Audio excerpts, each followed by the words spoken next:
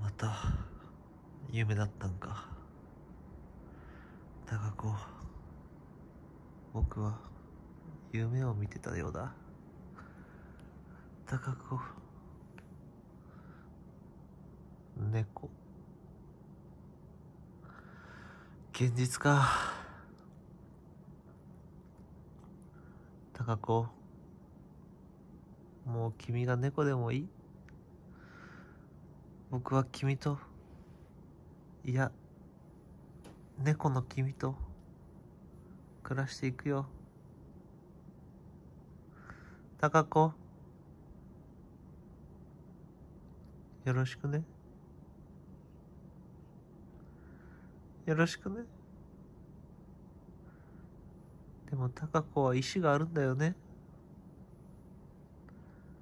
こうやって僕の横にいてくれる。ということは高子の気持ちは残ったまま。